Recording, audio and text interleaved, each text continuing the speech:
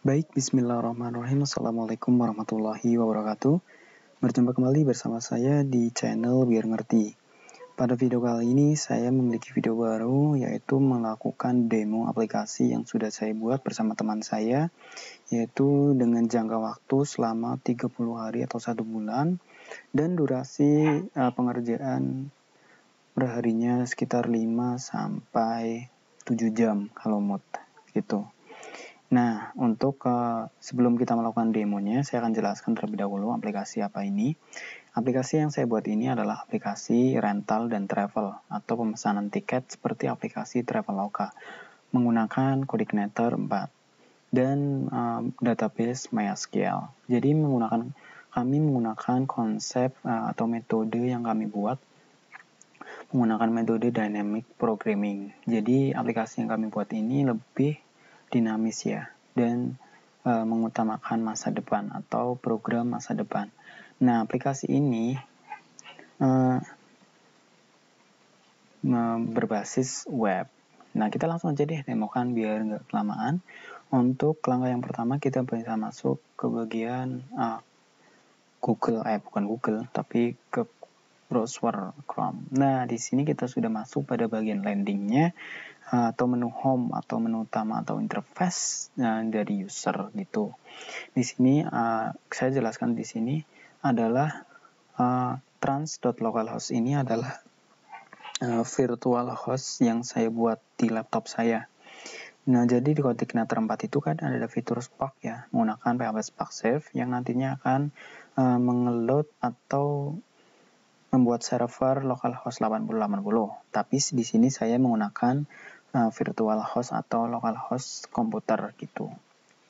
Jadi sama aja, tapi perbedaannya kalau di kalau yang saya pakai ini lebih enteng dijalankan ketimbang saya harus menggunakan Spark Safe gitu. Nah, kita saya akan jelaskan pada bagian landingnya terlebih dahulu sebelum kita masuk. Nah, ini udah uh, di sini kita sudah masuk sudah diperlebar ya. Ini itu ada menu, ada formulir cek tiket travel. Ini tinggal kita masukkan ID-nya. Nah, data tidak temukan karena kita belum ada uh, ID uh, tiket ini ya. Nah, kita coba ke bawah terlebih dahulu. Di sini ada cara kerjanya yaitu cari pesan dan bayar. Nah, nanti tentang ini tentangnya seperti ini. Kemudian daftar list kendaraan uh, mobilnya ini adalah mobil-mobil yang disewakan dan tidak disewakan gitu. Ini bagian footernya. Nah, kita akan langsung uh, login di sini juga bisa di sini nih. Log server gitu service. Kita akan login langsung. Nah, di sini. Jadi akan saya jelaskan di aplikasi ini ada tiga level user yaitu super admin, admin dan uh, user. Nanti super admin itu biasanya pada bagian yang untuk mengelola uh, aplikasi ini atau situs webnya. Uh, bisa programmernya mungkin ataupun intinya sih lebih ke intinya dia lebih mengerti, mengerti ke web bukan sekedar menggunakannya. Atau kalau admin dan user itu kan hanya menggunakan doang. Nanti saya akan jelaskan kalau udah masuk pada menunya. Di sini akan saya coba jelaskan pada menu login ini ada menu masuk dan menu daftar. Kalau kita belum mempunyai akun, nih coba janjian deh ini kan tidak ada ya. Nah, ini kan kita tidak belum mempunyai akun. Kita bikin terlebih dahulu di sini. Tuh, kita bikin. Nanti akan masuk kalau udah dibikin, tinggal kita pesan. Eh, masuk doang. Di sini juga ada fitur lupa kata sandi. Kalau kita lupa kata sandi, tinggal kita kembali. Nah, kita akan masuk menggunakan akunnya si super dulu saya akan menjelaskan, eh, bukan super deh, kita akan menggunakan si user. Ini bisa, menggunakan uh, email ataupun nama penggunanya. Ini saya menggunakan nama pengguna yaitu user. Kita tinggal masuk. Ini adalah nama pengguna. Atau biar lebih jelasnya, saya akan mencoba menggunakan fitur registrasi kita akan daftar lebih dahulu menggunakan demo at gmail.com nama penggunanya media. Eh biar ngerti.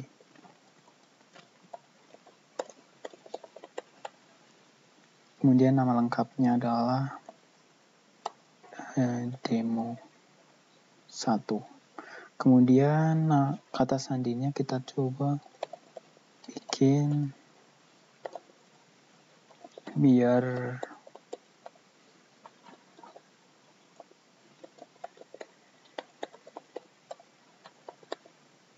tinggal checklist atau centang apakah udah masuk? Belum. Kata sandi tidak boleh berisi informasi. Jadi kata sandinya nggak boleh ini. Tadi saya memasukkan itu ya. Kita kata sandinya pakai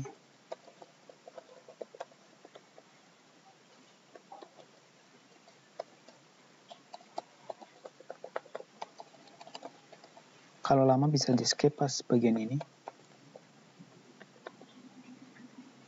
kita tinggal daftar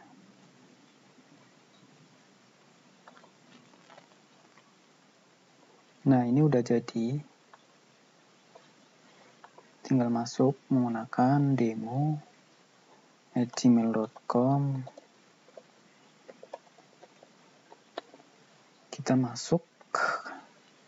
Nah, pada bagian awal ini nanti kita akan diarahkan di menu landing uh, dashboard. Dashboard user itu seperti ini. Ini ada pesan travel, ada rental mobil, dan ada lihat rute. Nah, kita coba pesan travel. Eh, saya akan jelasin dulu deh. Di sini ada tiket perjalanan. Nah, ini adalah jumlah tiket yang telah di Nah, ini adalah kon atau hmm, ringkasan tiketnya. Ini ada kendaraannya. Saya buat kendaraan. Di sini ada tiket, ringkasan tiket, dan rental. Ini. Kita masuk pada menu My Order kalau mau order atau bisa juga kita masuk melalui ini, pesan travel. Nah, kita akan coba pesan travel. Di sini saya akan pesan atau cari terlebih dahulu. Uh, pesan travel. Ntar. Untuk hari tanggal 22 dari Bumiayu ke Brebes. Cari apakah ada. Nah, ternyata ada dua tiket atau dua jadwal. Wah, mantap. Minum hari Minggu pukul 8 dan hari Minggu pukul 12 gitu.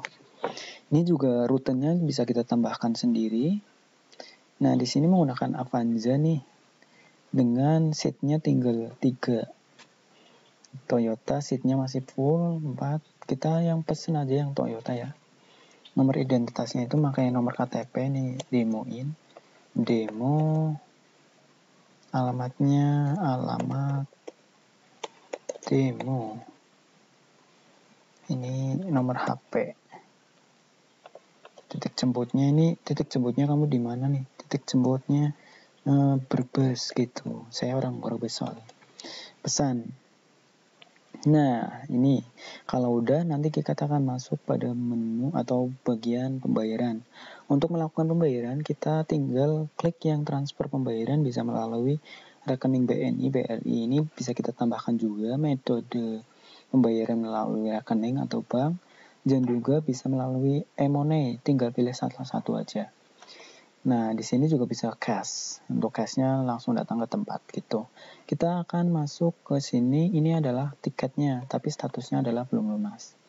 Di sini adalah bayar sebelum uh, tanggal ini jam segini. Nanti kalau belum dibayar, nanti tiketnya akan kadaluarsa.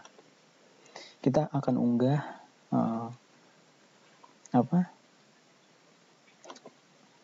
bukti pembayarannya kita pilih salah satu file bukti pembayaran kita ya. Screenshot lah. Ini kita udah nah tinggal masuk. Ini statusnya akan berubah menunggu konfirmasi. Kita akan lihat di sini menunggu konfirmasi. Tadi kita pesan ini adalah kode tiketnya ya. Nah ini adalah rentalnya. Rental kita belum memiliki. Kita akan coba pesan menggunakan pada bagian rental di sini. Ini kita tinggal pilih doang. Ini kan tadi sebenarnya ada empat ya, tapi yang satu itu tidak disewakan, jadi tidak masuk ke list ini. Saya akan pesan. Kita lihat jadwalnya dulu. Wah, ternyata ini udah ada nih. Jam eh uh, tanggal segini udah ada yang pesan jadi kita harus pesen di atasnya tanggal 23 tapi saya ingin pesan ini saya akan pesennya tanggal 23 ke atas saya pesen buat tanggal 1 sampai tanggal 3 deh nomor identitas biasa pakai KTP nama lengkapnya Angga Saputra. Alamatnya uh, Brebes. Jangan deh ini biar ngerti. Ini nama ya nama YouTube. Ini nomor teleponnya. Jenis kelaminnya laki-laki. Nah di sini udah masuk nih ini tinggal ini belum lunas statusnya belum lunas. Ini kalau di print itu belum bisa ya. Kita harus uh, melakukan pembayaran. Uh, ternyata ini kita harus melakukan pembayaran. Tinggal kita unggah pembayarannya. Uh, pakai ini. Kemudian simpan statusnya udah berubah menunggu konfirmasi. Kita masuk ke dashboardnya maka di sini berubah? Nah di sini ada satu dan satu. Nah pada ada bagian ringkasan tiketnya itu menunggu konfirmasi ada satu. Yang ini juga rentalnya ada satu. Tadi kan kita pesen dua ya. My order kemudian kita akun. Pada bagian akun ini kita bisa mereset password dan mengedit nama. Atau nama lengkap. Ini nama pengguna. Gitu kita akan logout dan masuk menggunakan uh, kredensialnya admin. Admin password. Oke, okay. nah di sini kita sudah masuk. Ini kalau ada menu, uh, ada jumlahnya, ini karena datanya sudah saya tambahkan. Ini ada tiket kadaluarsa juga. Ini adalah data demo yang kita coba nih karena kita tadi kan uh, ngorder ya. Kita masuk ke orderan. Nih si demo itu masuk nih yang tiket buat travel. Tinggal kita detail nanti kita konfirmasi kita cek pembayarannya. Cek pembayarannya bener nggak sih gitu. Tinggal konfirmasi pembayaran. Gitu nanti statusnya akan lunas. Nah di sini kita bisa nyetak kartu nih opsinya cetak tiket gitu. Nah, maka akan ke sini. Tinggal di screenshot aja. Udah pada bagian ini udah ya. Order tadi kan order tiket, ini kan lunas, rental. Rentalnya ada yang menunggu konfirmasi. Tinggal detail, kemudian kita konfirmasi pembayaran. Kemudian nanti kita juga bisa nyetak kartunya atau nyetak tiketnya pada bagian menu ini. Nah ini ya berarti print. Oke, kita sudah. Ini tinggal bikin screenshot aja. Ini bisa di custom sih, bisa di custom lagi. Ini adalah uh, tiket.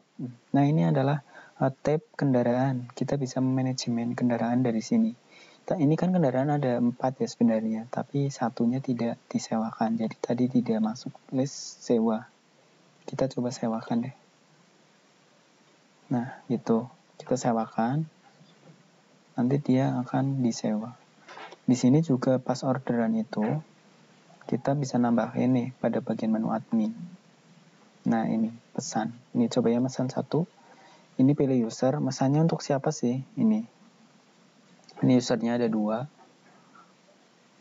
Nih kita kendaraan dulu Terus di sini pada yang bagian bawah itu ada uh, manajemen kendaraan. Manajemen kendaraan itu untuk uh, jenisnya, jenis pribadi, sport, minibus atau apa.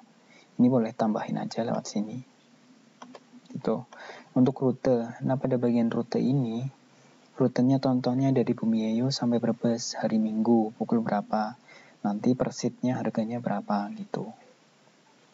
Nih, seperti ini ya. Nah, di sini juga ada manajemen titik destinasi. Nah, titik destinasi mana aja sih? Nanti kita bisa tambahin lewat sini. Tinggal nambahin aja. Gitu. di sini kita masuk ke tab pembayaran agar cepat ya. Tab pembayaran ini ada pembayaran melalui rekening bank dan M-Money. Ini kita bisa tambahkan nih, ini adalah metode pembayaran saat user nanti mentransfer uh, pembayaran atau uh, transfer uang lah gitu. Bisa melalui rekening bank atau M-Money. Nanti untuk listnya bisa ditambahkan. Ini kalau link uh, M-Money-nya salah satu udah tidak bisa aktif, kita tinggal uh, statusnya ubah jadi non aktif gitu.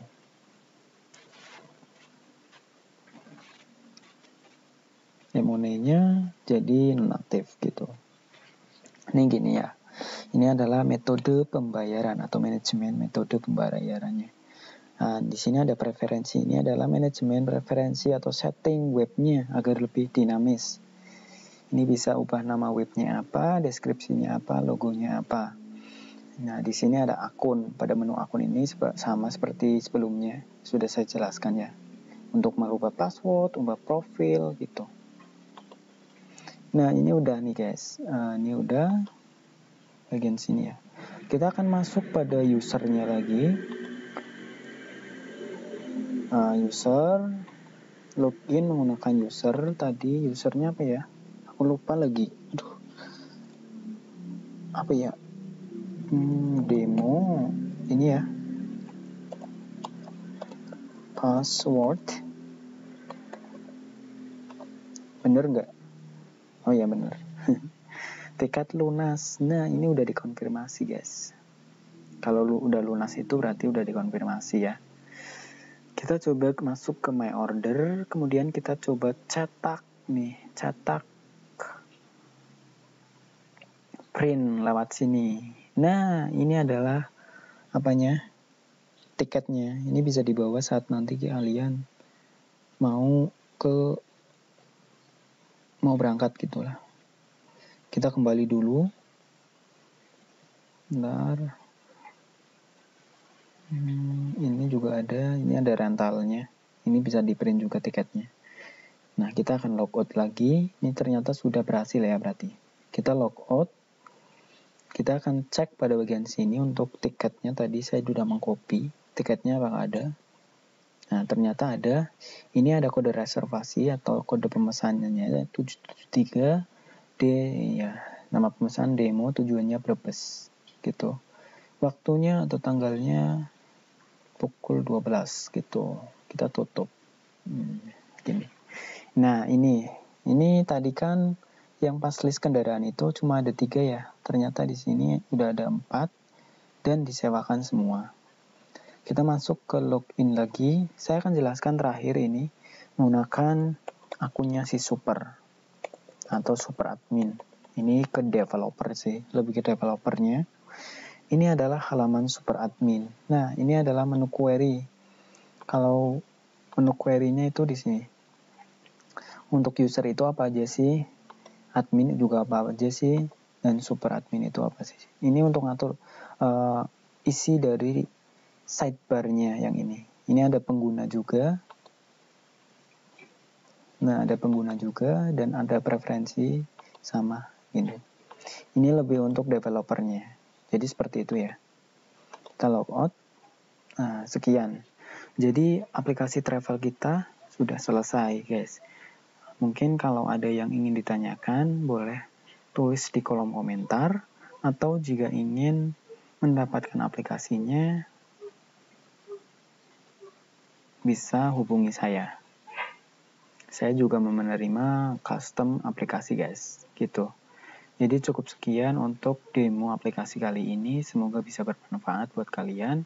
Dan jangan lupa selalu dukung saya. Kalau mau pesan aplikasi boleh uh, hubungi nomor yang ada di bawah deskripsi. Terima kasih. Assalamualaikum warahmatullahi wabarakatuh.